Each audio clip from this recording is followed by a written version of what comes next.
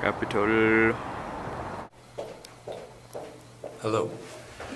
Welcome to Capitol Records.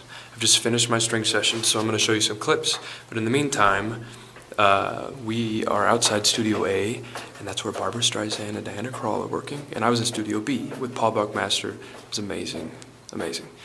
So, Mr. Nat King Cole, Mr. Sinatra. These are all such icons. Mr. Dean, Miss Garland. Within these walls, so much has happened. So, I'm really, really excited to be working here. So anyway. So we're inside Studio B. That's Walter and me. I'm meeting Paul for the first time, and that's Susie in the front who manages the orchestra and the film crew. So meet Paul Buckmaster. He's a living legend, string arranger. He's been around forever. He's credited with uh, back the choir that backed the Rolling Stones. You can't always get what you want.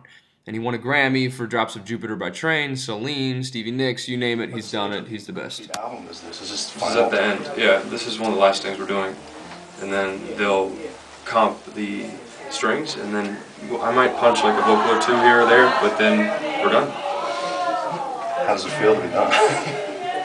Weird. I'm ready to be done. how long is it? How long was the whole? We've been doing this for, I don't know, between six and eight months probably. Long time. And I wrote the songs over the last couple years, so in general it feels like I've been making this record for three years. And last year this time I was saying I can't wait to just make a start a record, and now I'm saying I can't wait to start the tour, and I can't wait to start promoting the record. And so I'm ready to move on. But it's been it's been amazing, but it's a lot of work.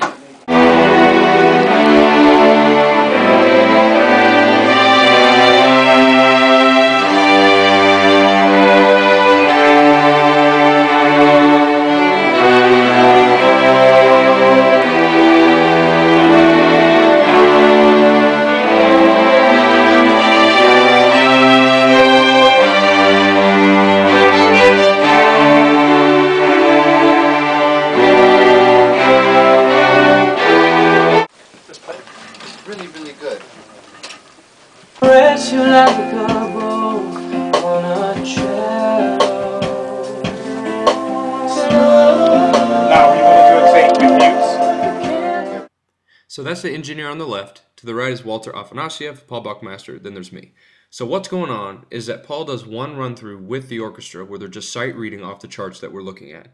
Then Walter and I take notes on what we like, what we um, don't like, which rarely happens. Paul comes in, we give him our notes. He takes those notes back to the orchestra. They record the whole song, and then um, that's what you end up hearing on the record after they comp it. The guy over my shoulder is Jay Landers, my A&R who helps craft my record. So here's me listening to the strings in context.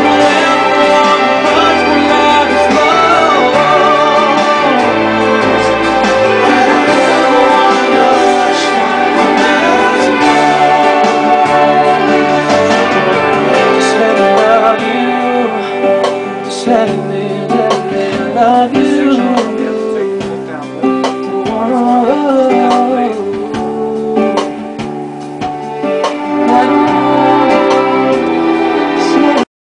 Kiss on the Wind's probably the biggest production. I don't know, that's to be seen. Sound of Silence is pretty huge, which we'll do in a little bit, but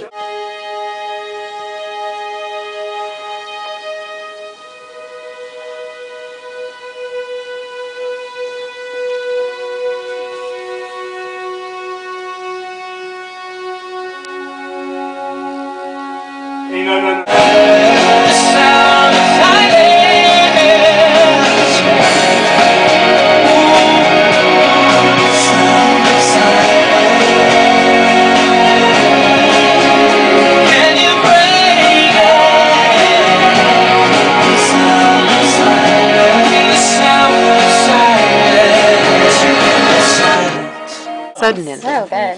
Gonna be just That- yeah, it's huge.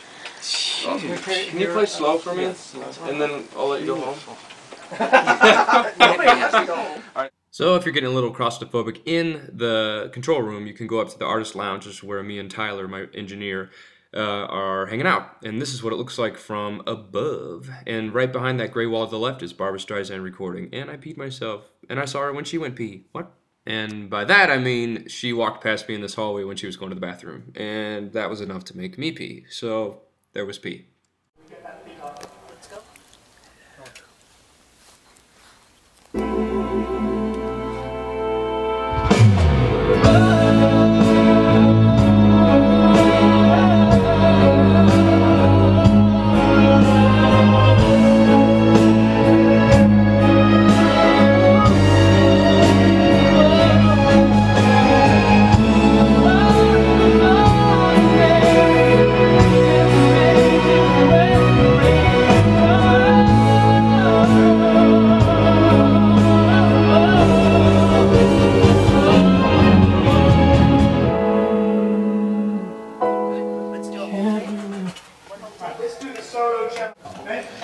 Perfect. Silence. We don't have time to do it. And you're inside a lot. We're inside a lot. In beautiful California, it's like 80 degrees outside right now. So, and here we are in a hallway.